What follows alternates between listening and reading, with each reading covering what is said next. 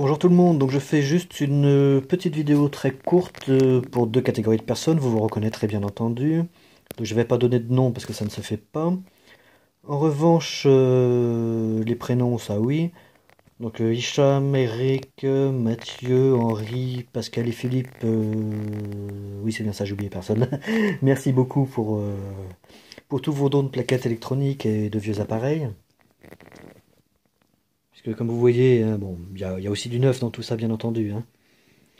Mais j'ai un stock de composants qui a été renouvelé en moins d'un an euh, entre ce que j'ai acheté, ce que j'avais déjà en stock et tout ce que vous m'avez donné.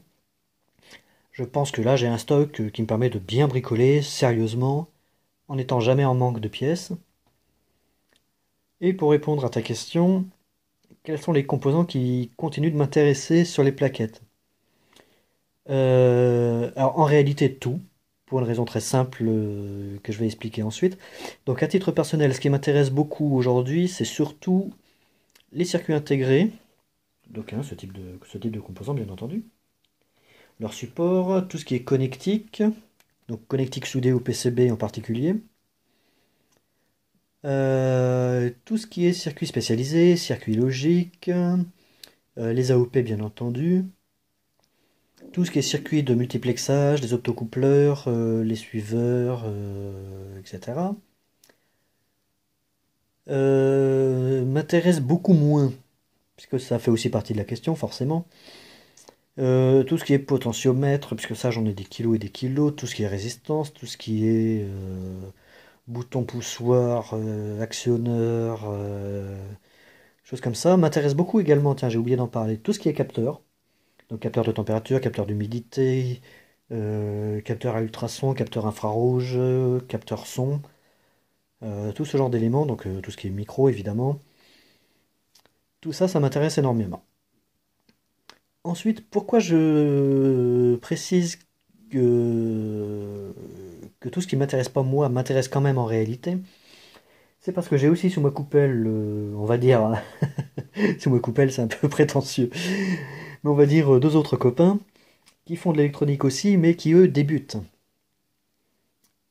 Et donc pour eux, je récupère bien entendu tous les composants classiques, donc tout ce qui est LED, tout ce qui est diode, tout ce qui est transistor, euh, tout ce qui est capacité, choses comme ça, qui moi ne m'intéressent plus parce que j'en ai des stocks euh, pour 5 ans. En revanche, eux, ces composants-là, ils en ont que quelques-uns chacun. Donc c'est dans ce cadre-là, et pour leur faire leur stock à eux, leur premier stock à eux, que je récupère ces composants. Donc c'est pour ça quand vous nous filez des plaquettes, euh, typiquement la, dernière plaquette que c'est toi Pascal, je crois, qui me l'a donnée, il devait y avoir dessus une soixantaine de composants en tout et pour tout, euh, connecteurs compris. Euh, la plaquette, quand je l'ai mise au recyclage, elle était nue. C'est pas compliqué. Dessus, on a tout récupéré. 100% de composants. Donc euh, moi en gros j'ai récupéré euh, les connectiques, euh, le petit transformateur d'alimentation, le petit transformateur d'alimentation, le petit pont de diode qui était derrière, l'optocoupleur, il y avait aussi un petit circuit spécialisé pour faire un retour, un retour d'alimentation vers le primaire. C'est une alimentation à découpage. Euh, et je crois que c'est tout. Si j'avais récupéré une petite salve aussi. Une bobine, si tu préfères. Euh, tout le reste, donc la partie euh, active de la plaquette. Donc il y avait quelques petites diodes, il y avait un petit peu de. Il y avait 2-3 LED, il y avait deux potentiomètres, quelques condensateurs, etc. Et tout ça, c'est parti chez mes camarades débutants. Donc euh, je renouvelle euh, mon remerciement à chaque donateur. N'hésitez pas à continuer. Hein, euh, de toute façon, ce sera absolument pas perdu.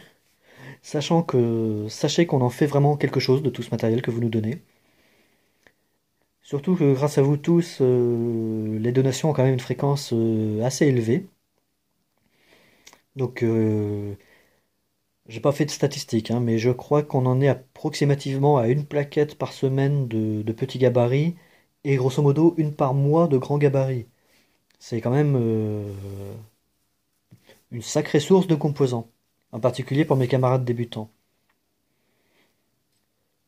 Donc euh, merci encore une fois, n'hésitez pas à continuer, et sachez qu'au-delà de, de nous rendre service, c'est aussi écologique, puisque tous ces composants ne partent pas à la destruction. Merci encore, et bon week-end à tous. À bientôt.